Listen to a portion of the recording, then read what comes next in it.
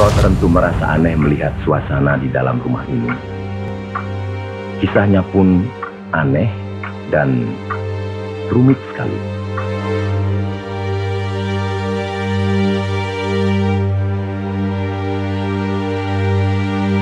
Aku hanya tahu kau cantik. Aku sangat cemburu setiap kali kau berdua dengan Franz. Kau siapa? Kau yatim piatu. Kami beri kau pekerjaan. Kami kasihani kau. Tapi diam-diam, kau bermimpi jadi ratu di rumah ini.